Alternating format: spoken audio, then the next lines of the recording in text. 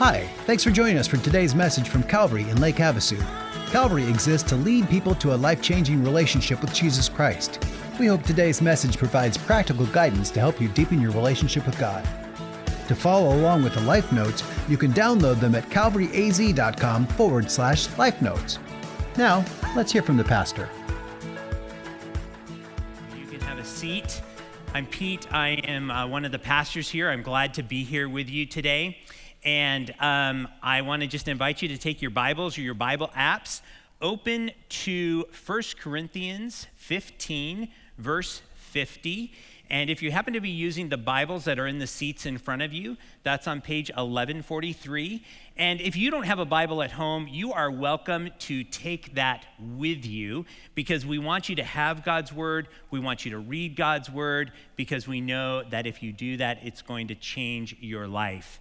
Uh, for our online community, I am so glad that you are with us and want to encourage you. If you need a Bible, message your host and we'll make sure we get one out to you. Uh, won't be before the sermon's over, but eventually we'll get you a Bible. Um, it's great to be with you, and I want to just kind of open up our time by asking you a question about how do you say, I give up? It kind of defeated? Oh, I give up. I just can't take it anymore. Or maybe it's, I've had enough. Or maybe you're the strong and silent type and you just turn around and walk away. I mean, we've, we've all said, I give up. We've all given up at some point on something for some reason. Sometimes the reasons are good, sometimes they're bad. Um, I've given up on playing the piano two times. when I was in third grade, um, the instructor's daughter stared at me through the whole lesson. And it took two lessons, and I'm like, I'm not going back there. I was just so uncomfortable and creeped out that she would just stare at me during my lesson. Uh, then I started playing piano again in high school, and I played for a year and a half. And that's just enough time where you're actually starting to, it's starting to become enjoyable, like you can actually play something. Uh, but I got busy, and my senior year, I'm like, you know, I'm done playing the piano and I quit again. And you know, quitting that instrument has come with regret because I still wish I could play piano, you know, but I can't because I quit. We, of course, are tempted to give up on bigger things too. Uh, there's a possibility of giving up on a career or a job. Uh, there's the temptation to give up on relationships. We've probably considered giving up on church. I know I have. I've had times where I've considered giving up on church. And tragically, some in this room might even be contemplating giving up on life or giving up on your faith in Christ. Well, today's message is going to encourage you to keep your faith and to not give up. The struggles that we face, no doubt, are the things that motivate us to quit. It could be physical or health struggles that we just don't think we can endure any longer. It could be relational turmoil at home or in the church that you don't want to put up with anymore. There might be a long list of unmet expectations that you have brought you to the point where you just say, Should I keep going? I don't think I can keep going. Today's passage is going to motivate us to not give up, especially on those super important issues of life and faith. So, the message today was delivered to the messed up church in the city of Corinth. And I'm guessing that this church had probably had just about enough. They were failing on so many levels. They were suing one another in court. Um, they were arguing about who their favorite leader was. They were putting up with sexual sin inside the church. Uh, people were gluttons and drunkards when it came to celebrating communion. Uh, they were misusing and abusing their spiritual gifts. And as we learned last week, some people in the church had even stopped believing in the resurrection of Jesus. I mean, that's a pretty core Christian doctrine. And there's people in the church that are saying, nah, we don't believe it. So, of course, they would be ready to call it quits. You could probably even imagine some of the conversations that would go on on the way out the door. Did you see Claudius? Did you see how he was bragging as he used his spiritual gift? And then someone else t- chimes in, Yeah, and the Thomas family got drunk today at communion. I'm done. I can't take this anymore. I'm never coming back here. Paul writes some hope filled words to the people in this church. They are words that are meant to encourage and to inspire, and they're intended to help people keep going. And what we'll see as we look at this passage in 1 Corinthians 15 is we're going to see that Paul gives us two theological truths and then a practical implication. Okay, so we're going to read that right now, uh, 1 Corinthians 15. I'll be starting in verse 50 and going to verse 58. I tell you this, brothers flesh and blood cannot inherit the kingdom of God, nor does the perishable inherit the imperishable. Behold, I tell you a mystery. We shall not all sleep, but we shall be changed in a moment in the twinkling of an eye at the last trumpet. For the trumpet will sound, and the dead will be raised imperishable, and we shall be changed. For this perishable body must put on the imperishable, and this mortal body must put on immortality. When the perishable puts on the imperishable, when the mortal puts on immortality, then shall come to pass the saying that is written Death is swallowed up in victory. Oh, death, where is your victory? Oh, death, where is your sting? The sting of death is sin, and the power of sin is the law. But thanks be to God who gives us the victory through our Lord Jesus Christ. Therefore, my beloved brothers, be steadfast, immovable, always abounding in the work of the Lord, knowing that in the Lord, your labor is not in vain. That's really good, isn't it? We could probably just sit here and read this about 20 times and let it minister to us. But I'm going to share just a few words here. The first thing that we see is one theological truth, and that is that change is coming. Change is coming. You know, in your life notes last week or in your life groups, you may have discussed the difference between the perishable man and the imperishable man. The difference between those of us living just in this earthly body and the coming resurrection body that Jesus promises us who believe in him. So you had a chance to look at that last week, but I want to just touch a little bit on some questions that we might have about this coming change, this coming transformation. Um, why will we be changed? Why? Well, we're going to be changed because change is needed. We are flesh and blood. Our bodies are corrupted by sin and disease, and this body doesn't get to go to heaven. It doesn't get to inherit the imperishable and the eternal existence in heaven. So it needs to be changed we need to receive a different body.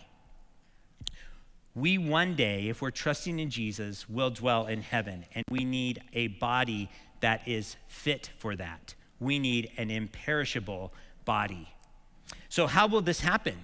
Well, it says that it will happen quickly and in the blink of an eye, in the twinkle of an eye. It's kind of like the idea of as fast as an eye can blink, that's how quickly this change will take place, and we will be transformed. It's kind of like getting dressed. You know, when you watch a magician and they spin around and then they're in totally different clothes? It's kind of like that idea that God will instantly dress us in what is imperishable. He will instantly dress us in immortality. That is really good news. Um, and you know, this has happened before. This has happened before. In the book of Genesis, it talks about a man named Enoch and it says that Enoch walked with the Lord and then he was no more. Like that quickly. Enoch walked with the Lord and then he was no more. Everyone else in Genesis dies. He dies, he dies, he dies, he dies. Enoch walks with the Lord and then he was no more. Quickly, in the twinkling of an eye. Um, Elijah, one of the first major prophets for the nation of Israel. And um, Elijah, it says, is caught up in a, a chariot of fire. And his, his, uh, his, his protege, Elisha, got to watch him just go up to heaven. He didn't have to die. So we have this happening very quickly.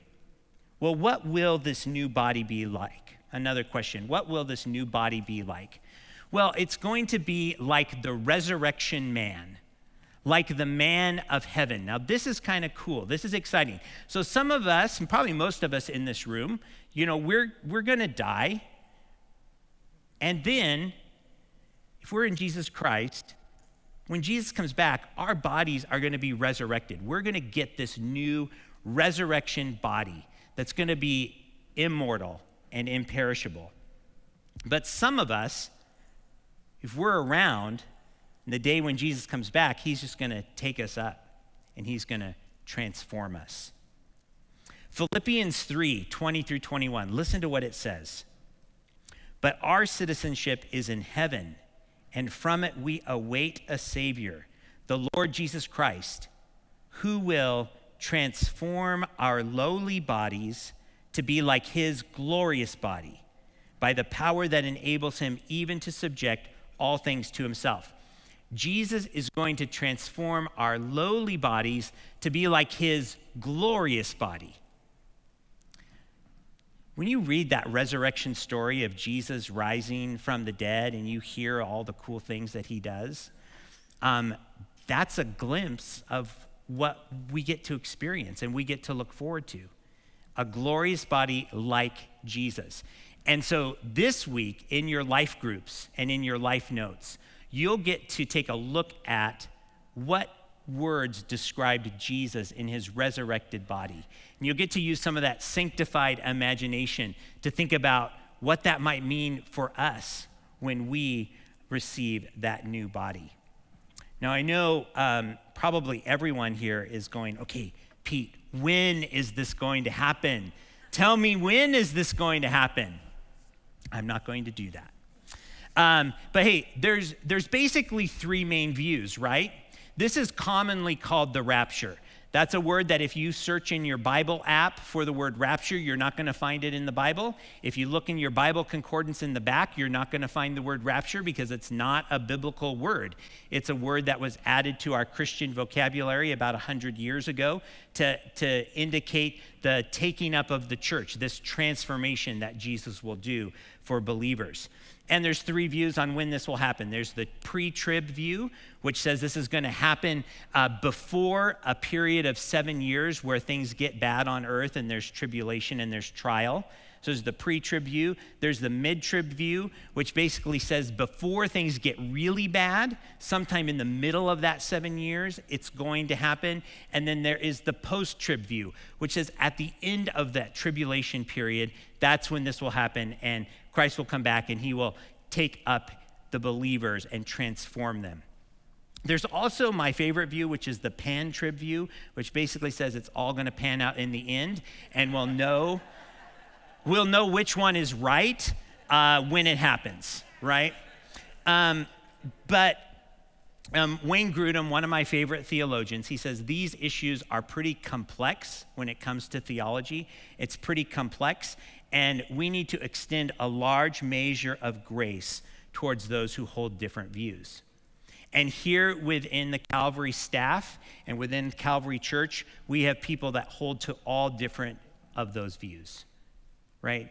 And, and so we want to extend a lot of grace when it comes to this topic. But I'll just point out that I think in this verse, I have to at least address a little bit of what's in this verse. This verse says that it happens at the last trumpet. Listen, listen, listen to verse 52 and look at it if you've got your Bible open. In a moment, in the twinkling of an eye, at the last trumpet, for the trumpet will sound, the dead will be raised imperishable, and we shall be changed.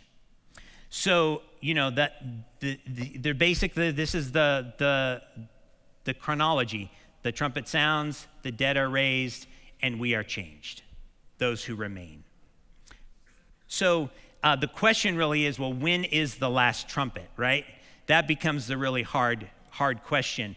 And um, I'm going to leave that up to you guys, okay?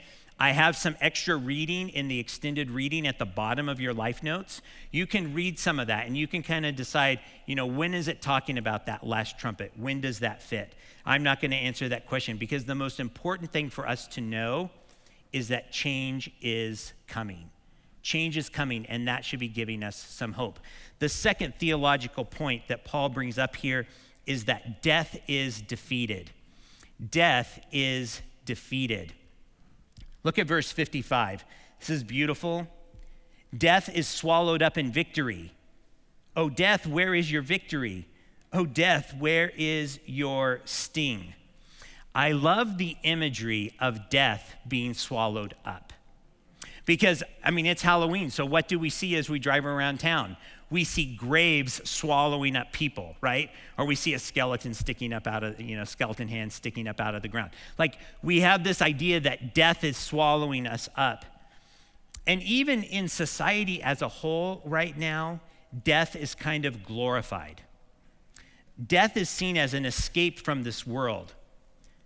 But in truth, death is only an escape for a believer in Jesus Christ. For a Christian, death does not swallow us up. No, death has been swallowed up in victory. Jesus defeated death for us. So the only people who don't need to fear death are those who are in Jesus Christ. Sin has made death inevitable for us all. Law has made the reality and the conviction of sin evident in our own life. God's law over and over and over again shows that we sin and that we are going to die for that sin. According to the Bible, existence our existence does not end when we die. The Bible tells us that after death comes judgment. You might know Hebrews 9:27, just as it is appointed once for men to die and after that comes judgment. So Christ, having been offered once to bear the sins of many, will appear a second time, not to deal with sin, but to save those who are eagerly waiting for him. So after death comes judgment but Jesus, right? That's the, encouraging part right there. But Jesus. We don't have to fear judgment. We don't have to fear condemnation from the law or from death because of what Jesus did. One of my favorite passages, Romans 8 1 and 2, says, There is therefore now no condemnation for those who are in Christ Jesus. For the law of the Spirit of life in Christ Jesus has set us free from the law of sin and death. So, for those who are in Christ Jesus, trusting in what he did, we don't fear. We don't fear death. We don't fear judgment because he has already won the battle. So, when you think about death, what do you think about? Does death seem like a defeat to you? Do you still worry what will happen to you after you die?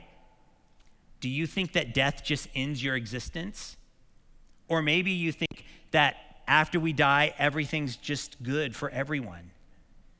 If you're clinging to any of those thoughts about death, you're out of alignment with what the scripture teaches us. We need to trust in Jesus. Jesus died on the cross for my sin, He died on the cross for your sin. And when we have faith and we turn to Jesus and we follow Him, He gives us this amazing gift of eternal life. And if this body dies, we're promised a home in heaven.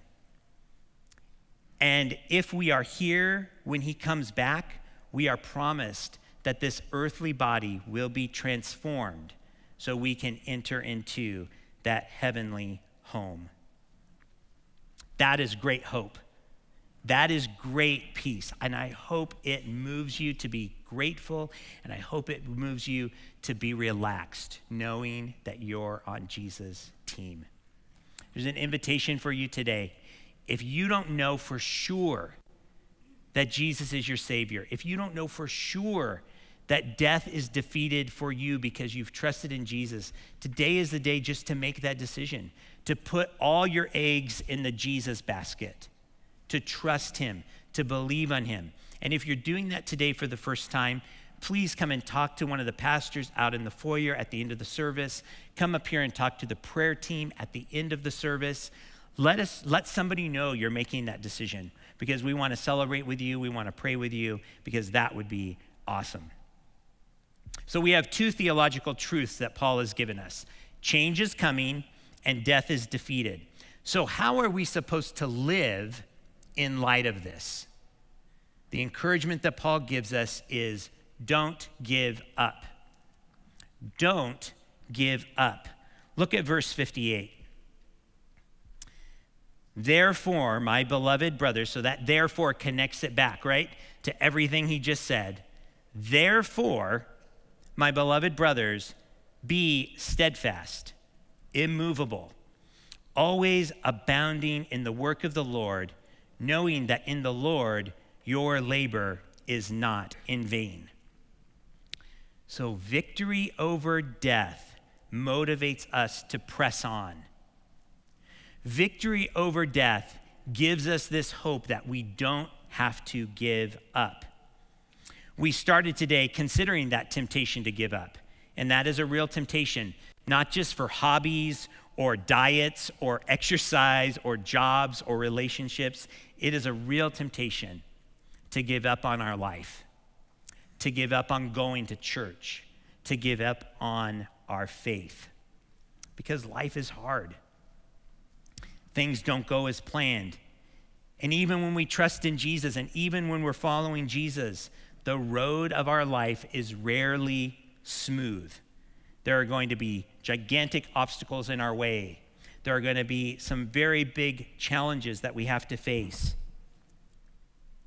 But in light of this coming transformation, in light of the coming victory over death, the Bible encourages us not to give up, to press on.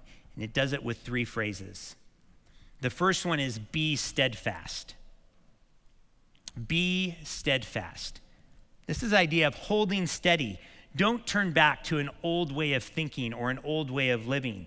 Don't divert course keep your direction of trusting Jesus, following Jesus, and looking forward to that eternal hope that we have in Him. If you think about a ship in the middle of the great, vast ocean, and the gigantic waves coming against it, and strong winds pushing against it, and turbulent currents coming against it, the captain of that ship wants to be steadfast, right? Wants to reach the dedication and destination. And even though the waves and the wind can be pushing against it, the captain will use all of those navigational tools so that the ship stays on course, that the ship is steadfast. Paul gives us the same challenge. All of these theological truths that we're talking about are aimed at keeping us steadfast in the right direction, looking forward to what Jesus has done to us and pressing forward to that ultimate goal. So the encouragement is be steadfast. The next encouragement is to be immovable. Be immovable. That's an idea of being firmly planted. Don't let philosophy or influencers on social media or people on TV try to convince you of something else try to get you to believe in something other than Jesus. Winds of doctrine and the influence of others around you will try to get you to think something different, but don't move. Hold tight to God. Hold tight to this book and what it teaches you. It promises you that you are going to be changed. So keep on waiting for God to do that work. I started out today talking about that silly illustration of me quitting piano as a little kid, it just took one other little kid watching me during a lesson for me to quit. That's all it took. And, and we will encounter that same thing. We'll have family and friends look at us weird, give us quizzical looks, wonder why in the world we're believing in Jesus. Why are we doing the things we're doing? And we'll be like, oh, maybe I should tone it down. Maybe I should quit this Jesus thing. Everyone thinks I'm a weirdo. Don't give up because of the weird looks of people around you. When I was in high school, I quit because I got too busy. Well, that is a parable for our day, isn't it? How busy are we? How many things do we cram into our lives? And the more things we cram into our lives, we push Jesus back. We think Jesus is not important right now. This is not important. There's other things more important. I don't need to be at church. I don't need to go to life group. I don't need to go to CR. I'm busy. I don't need to read my Bible today.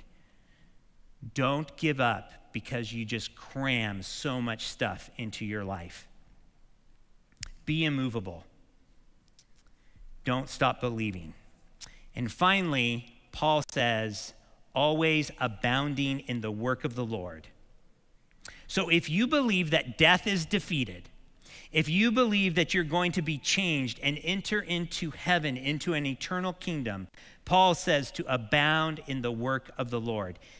And he says that this work is not in vain.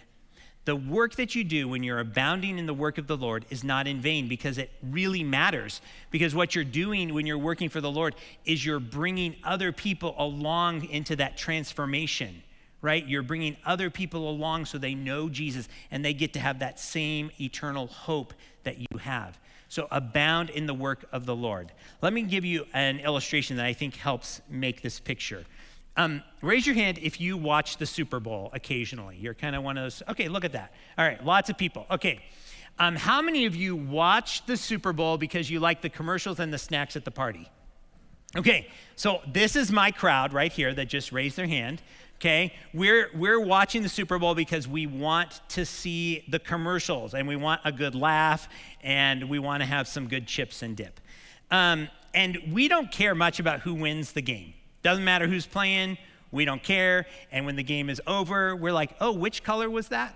Um, and, and we aren't going to think about it again. You know, that's it. We're done. How many of you watch to root for a particular team? Okay? Okay, there's a lot of you. That's good. So you care more about the end. The whole game, you're cheering for your particular team. And at the end of the game, you're going to celebrate a bit. You'll definitely be celebrating more than the people who are there for the commercials because they're just thinking, I can't wait for the commercials to do a rerun. You know? Okay, so then how many of you are willing to fork over some money to actually get in the stadium? A lot less because it's a lot of money, isn't it? Okay, but if you fork over that money to get into the stadium, you are going to be invested in that game. You are going to be celebrating when your team wins, and you're going to try to get into the after parties, right? You're going to try to get into those after parties to celebrate. Now, what about the teammates?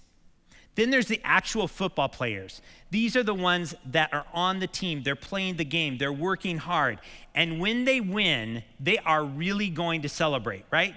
They're the ones that get the ring, they get the trophy, they get the money, and they get the after parties. And they're the ones that get to say, I'm going to Walt Disney World after the game is over, right? They're the ones that really get to celebrate. Now, imagine this. What if you could be guaranteed the Super Bowl win? Like you knew the team that was going to win, and you had an invitation to be on that team. I'd be like, yes, sign me up. I mean, I don't even play football, but I'd be like, yes, sign me up. I will get the water. I will pick up the dirty towels. Let me be pummeled by the other team because I don't care. Because at the end, I get the Super Bowl championship. I get the ring. I get the trophy. I get the money. I get the parties, and I get to go to Walt Disney World. Okay? You know, you will put up with anything when you know you win in the end we have that same spiritual invitation. Spiritually, through Jesus Christ, we win. God has won the victory through Jesus Christ. And death, Satan, evil, destruction, they're all the losers. They lose. We are invited to be on the winning team. So, in faith, let me encourage you Rest in Jesus. Rest in all that He's done for you. We're not earning this. The game is over. Satan has lost. Jesus has won. And so Paul says, now abound in the work of the Lord. Abound in the work of the Lord. So there are so many people that serve tirelessly here at Calvary. It is amazing how they serve. They're here every service, they're here every weekend, they're here throughout the week, and they are tirelessly abounding in the work of the Lord because they want to bring other people to that life changing relationship with Jesus. So, this question isn't for them. But if you don't know if you're that person, let me ask you what is the work that you're doing to abound in the work of the Lord? What is it that's taking your time that is abounding in the work of the Lord?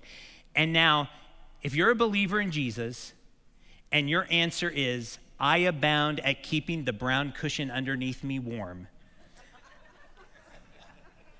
that needs to change.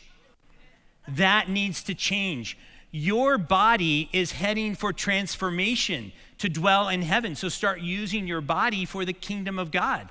It's time to stoop down like this and get eye to eye with some kids and start telling them about Jesus. It's time to open your mouth and start talking to some youth and to the people in your life about all the great things Jesus has done. It's time to reach out your hand and start shaking hands at those doors and welcoming people into this room so that they can hear about Jesus. It is time for you to maybe start looking out and join the team of people that's trying to keep us safe and healthy here. Maybe it's time to start using those arms and moving these chairs on Friday because there's a team of men that would love to have your help moving these chairs every week. We have to use our bodies because God's going to change them. And we have that promise. And so let's use them for the kingdom. Let's abound in the work of the Lord. Can you imagine, just with me, this weekend there's going to be about 3,000 people that are going to hear this message, that are going to be associated with Calvary in some way. Can you imagine how Lake Havasu, Parker, Mohave County, and the world will change if we abound in the work of the Lord? Because we're going to win. The battle's done. That is something that's worth joining the team and getting busy. Will you pray with me? Heavenly Father, we um, just come before you and we uh, confess right now that this is convicting. It is convicting to me because how often do I forget the great glory that waits for us in heaven? How often do I forget that this decrepit body that's weak and gets sick, that, that it's going to be transformed?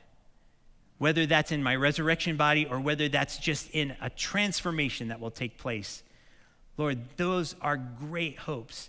And Lord, we want it to motivate us today. We want it to motivate us to not give up. Whatever hard and difficult situation the people in this room are in, whatever we're facing in our life, Lord, we give it to you right now. We give it to you and we say, It's yours. You've won the victory, so I'm not going to give up. I'm going to hold fast to you, Jesus. I'm going to hold on to life because you've given it to me. I'm going to hold on to faith because it is my hope for eternity. And even though this church is messed up, I'm going to be here and I'm going to be abounding in the work because it's not in vain. Lord, thank you for this message. Let it encourage us, let it change us, and motivate us to a full life. In Jesus' name we pray. Amen. If today's message spoke to you and you would like to support the ministry of Calvary, you can do so by visiting our website, calvaryaz.com. The homepage has links to contact us, to give, listen to past sermons, and subscribe to the Word for the Day daily devotionals. That's it for today. I hope you'll join us again next week. Bye bye.